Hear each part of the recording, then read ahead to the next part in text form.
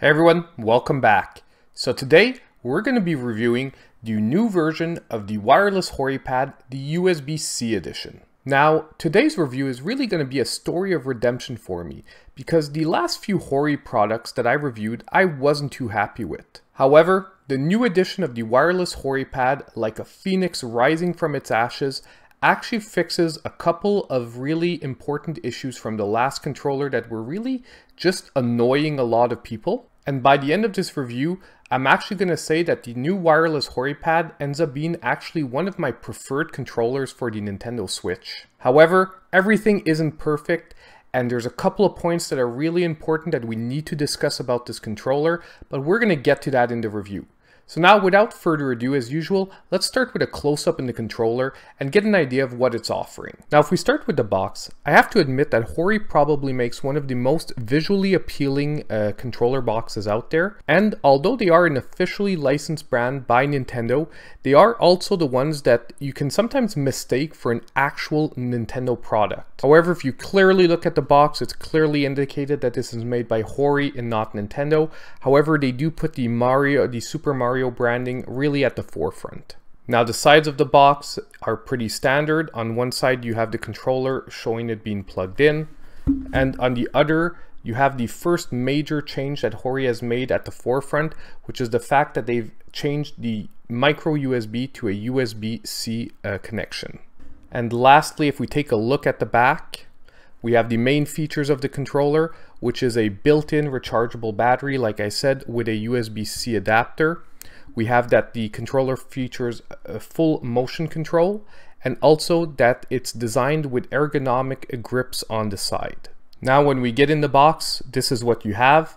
You have an instruction manual, you have a USB-C uh, cable, and you have the controller. We're not going to talk about the instruction manual, so we're just going to toss that aside.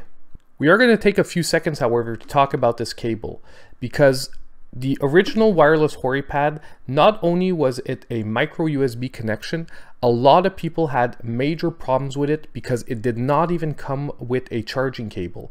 And especially the fact that it's a micro USB and the switch uses USB-C means that if you didn't have a spare U micro USB cable, you actually didn't have a way to charge the controller with what came in the box.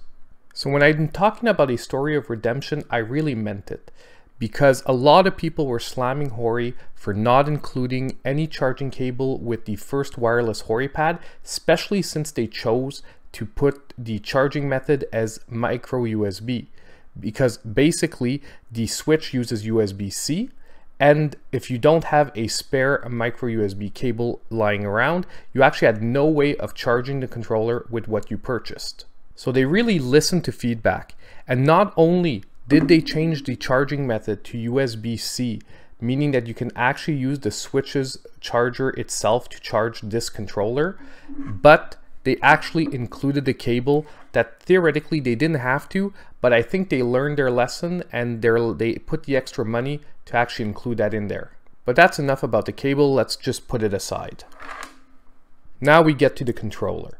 And honestly, this is one of my favorite overall controller designs that I've tried so far for the Switch. First of all, if you remember my review of the wired HoriPad, my most hated feature of that controller was that ridiculous idea of a removable D-pad with buttons underneath. They put a traditional D-pad, and this is a really solid D-pad. The diagonal inputs input really well. Rocking motions are really good on it. I, I actually really like this D-pad. Secondly, ergonomics wise, this is a controller that is made for larger hands. It's larger than the original uh, Switch Pro controller. And for me, that's a really positive aspect. Overall, in my hands for really long gaming sessions, this is actually the most comfortable controller I've tried so far. Thumbsticks as well, this controller is the closest so far that I've tried to the original Pro controller. I really like the thumbsticks on the original Pro controller. They have just the right amount of give and resistance. And this one has, I would say, in all the third-party brands, the closest to those original thumbsticks. Now the rest of the face buttons are your standard fare clicky buttons. And if we move on to the triggers, we have clicky triggers at the back and at the front, which is something I like. I don't like triggers at the back that are mushy. I like the clicky ones. So once again, another positive aspect for me. And like I said, the first major design change that they made on this controller is the USB-C charger, which we're looking at once again. Lastly, before we flip the controller around, the ergonomic uh, design here on the controller are texturized and actually they feel really good in hand. I actually thought this was going to be a gimmick and not actually change anything about your sensation, but no, the texture on them actually really feels good over long playing sessions and it does just give you that right amount of resistance. Now let's flip the controller around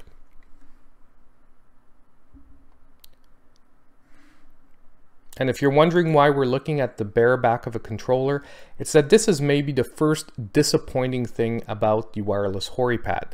There are no macro buttons on it. It's just a standard controller. Feature-wise, I find that they really could have integrated macro buttons and hit a home run with this controller, but unfortunately they didn't, and that's one of the lacking features. So since there's really nothing to see here, let's go around the rest of the features of this controller after that, this controller, like I said earlier, does feature full motion control. The motion control is very responsive and very good, but I'll be honest, all the third-party brands nowadays have pretty much figured out the accelerometer stuff. This controller does not have NFC compatibility, so if you're looking for reading amiibos, you're going to have to keep one of your Joy-Cons or the Switch Lite itself close by, because unfortunately there is no NFC reader on this controller. And the last thing, this controller syncs like the Pro controller. So if you're used to those controllers where you hold the home button down to get them into sync mode, there's actually a syncing button here that you have to hold at the top. So if you're not the type of person that reads the instructions, just let you know that it's there. It's a really easy sync. It's exactly the same as the way you sync the Pro controller. Now, I've brought my Switch Lite into frame here to demonstrate the last and most surprising feature about this controller, and this is something that I just don't get that more third-party brands haven't figured out. Yes, folks, this controller can wake your Switch up, which is a surprising feature and a really pleasing one. So if you're looking for a controller other than the Pro controller that can actually wake your Switch up without having to physically get up and push your power button, well, this controller can do it. Perfect. So now that we have a pretty good idea of what this controller is working with, what its features are, and just what it looks like, let's put it through its paces and score this controller. Now, if this is the first review that you see of mine, I just want to let you know that I have a specific video on my channel that explains exactly in detail how my scoring process works. But don't worry, if you're not into that, you'll be getting all the gist of it in this review.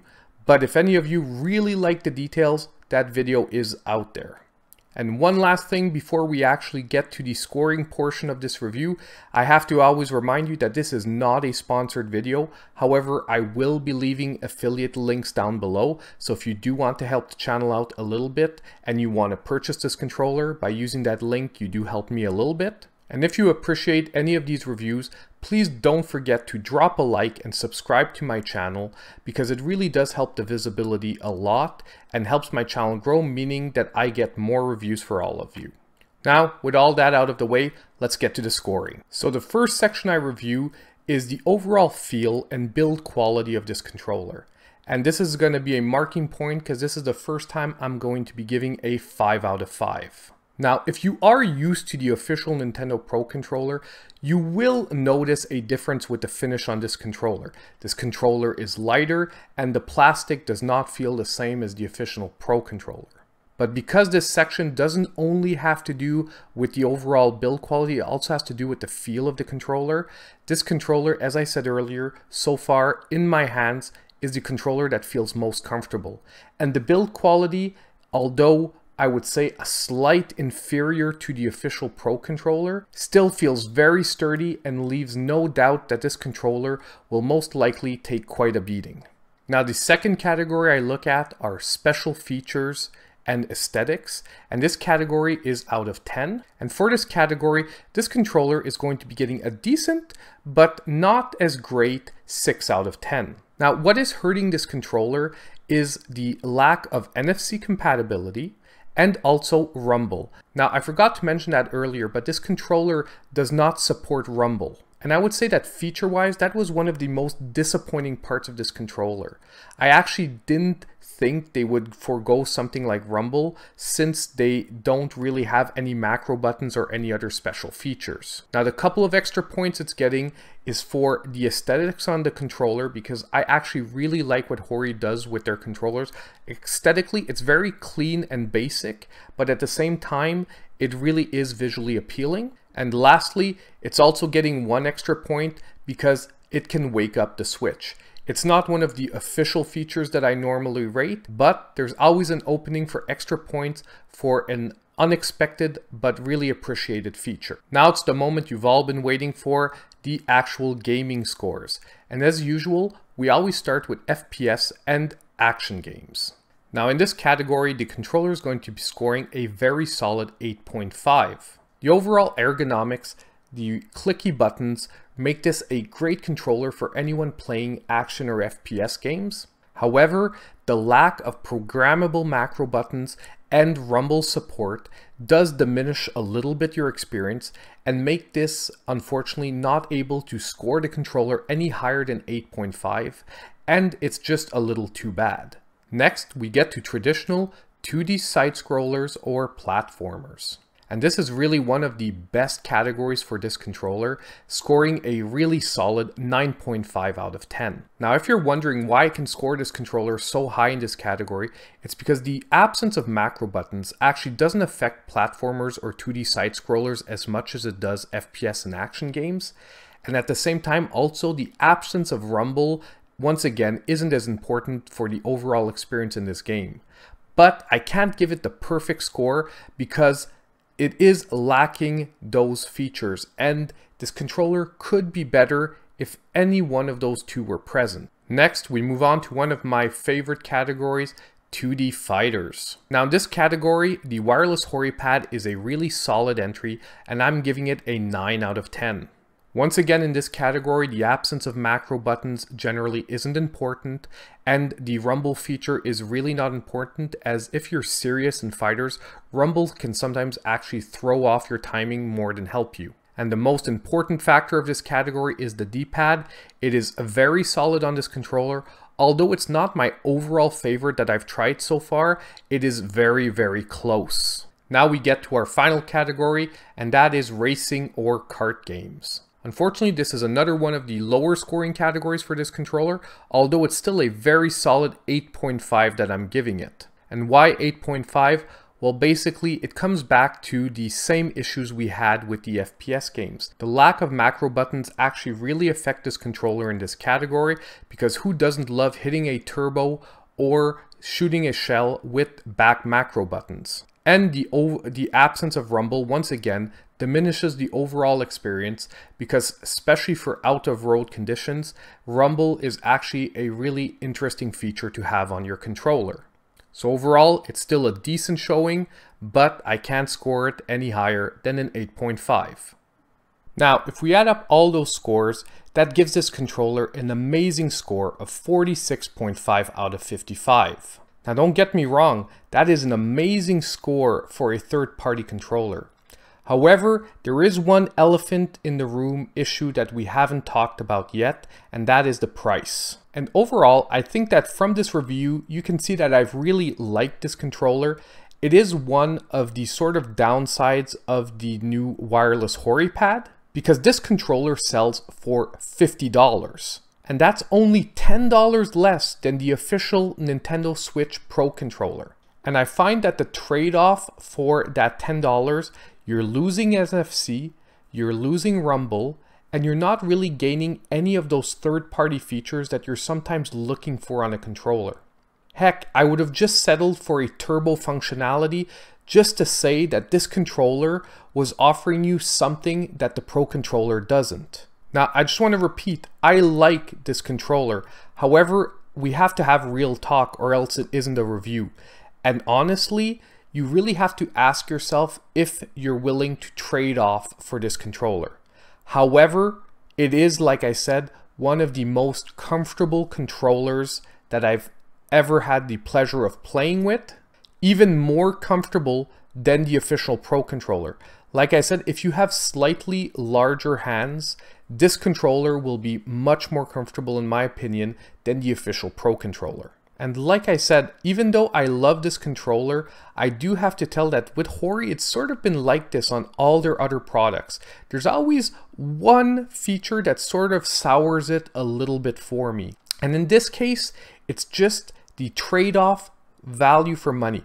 If this controller was $40, I would have no problem with the lacking features and the fact that you don't necessarily trade it off for, like I said, turbo or macro buttons or anything like that. But at $50 for a third-party controller, I feel like they should be giving us something back for those trade-offs. But overall, as the scoring showed, this is a very solid controller. So if you are comfortable with those features that you're losing and you're willing to trade the extra comfort for those lack of features, I guess the $50 could be worth it for some of you out there. And I've got to say that the upgrade to USB-C and the inclusion of that cable really, really helped this controller. Because by the way, this controller was $50 even when it was micro USB without a cable.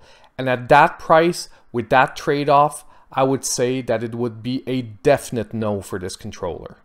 So when you're purchasing this controller, make sure you look for the USB-C edition. On some websites, it's actually really hard to make sure you're getting the USB-C edition. On Amazon, it really has to be in the product description or in the product name, or you could be getting the older version. But like I said, I'm going to link the USB-C version in this video. So if you want to be sure and help me out at the same time once I'm repeating myself, you can use the affiliate link down below and you're going to be sure to be going to the USB-C version. And just before we go, I have to remind you guys one last time, don't forget to like and subscribe if you've appreciated this video. Also activate that notification bell so you know when all my videos come out. And as usual, I hope I'll be seeing you all in my next video.